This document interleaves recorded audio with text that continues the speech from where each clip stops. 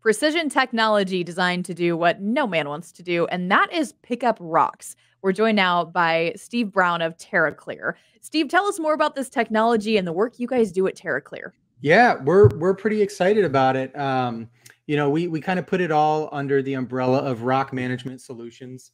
Uh, I have yet to talk to a farmer in my time here uh, who enjoyed picking rock, and so we are trying to automate what's the the worst job on the farm and we we approach that through a few different ways but it's all through the lens of trying to solve the problem.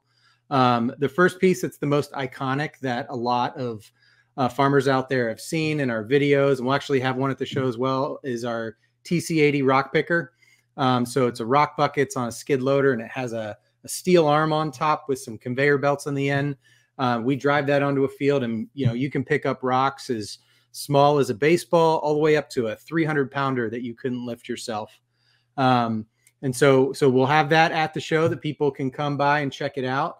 Um, but a hu- that's that's only a fraction of the battle when it comes to pick and rock. Another huge piece of this is being able to find them and get them efficiently. And so we also developed a rock map. We have we have mapped and trained our AI on millions of rocks in different field conditions.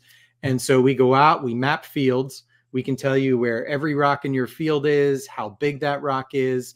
Uh, we deliver it to you in a, a simple mobile app that we have, uh, and you can use that uh, with the GPS on your phone that it will guide you to each rock. So you can go out and get that really efficiently. Um, and uh, you don't even have to use our rock picker in order to use the rock map. Um, and then the last thing is kind of the ultimate easy button. And we think this is where the future is going to be for our business and for farmers. And that's they don't want to deal with rock picking at all. We'll come in, we'll take care of it efficiently, effectively on your schedule. Um, and so that's really our rock picking service. And that's a big focus for us. Absolutely. Well, Steve, you guys are going to be out at this year's Iowa Ag Expo in Des Moines. That's coming up January uh, 30th through February 1st. If folks can't make it out to this year's show but still want to get in contact, how do they find more information from you guys? TerraClear.com. There's a contact form on there. They can reach out to us. You can go onto YouTube, search for TerraClear. There's a whole bunch of cool videos. We find a lot of kids really like to watch the rock picker, you know, snagging some some giant rocks in the videos. Um, but yeah, that's the easiest way to get in touch with us. We'll also be at a bunch of other uh, farm shows um, you know, we're, we're trying to make it really easy for anybody to find us. But yeah, start with the website. I think all farmers are just adult kids, aren't they? Uh, they absolutely. Excellent. Well, Steve, thanks so much for joining us. Yes, thanks so much for having me.